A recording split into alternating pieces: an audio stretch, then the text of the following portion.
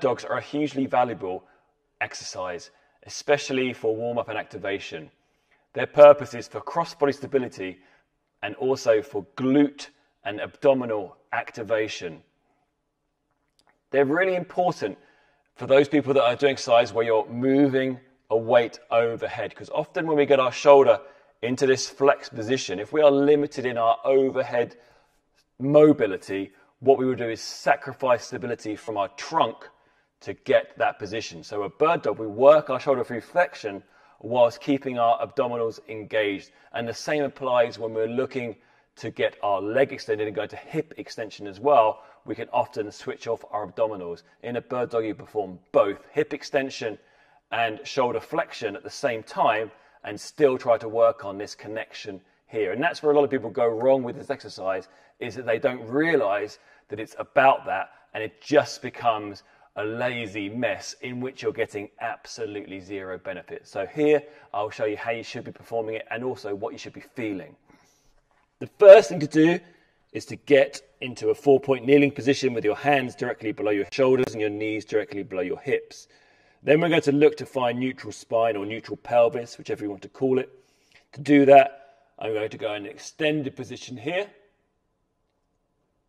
using those muscles in my lower and upper back to get as much extension through my spine as possible.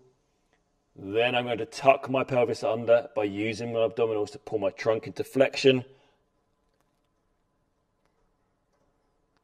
Come back into that extended position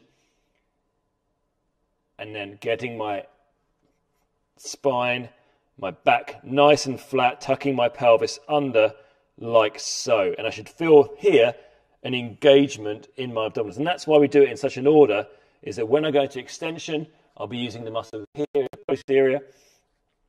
And then when I go into flexion here to find that neutral position, I'll be using my abdominals. We want to make sure that we feel that connection when we're doing this exercise.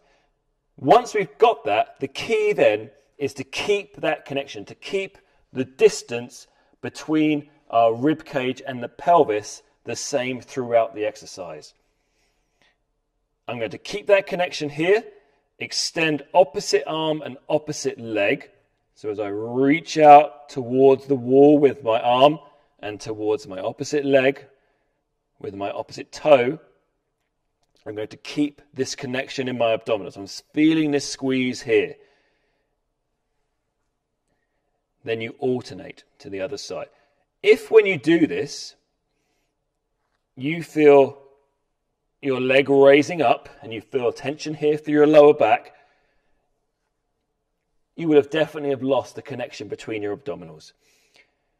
It's important that we get in a position where we can keep that connection whilst we get shoulder flexion, reaching my arm as much towards that wall as possible, and also hip extension, so reaching my leg back as far away as possible here.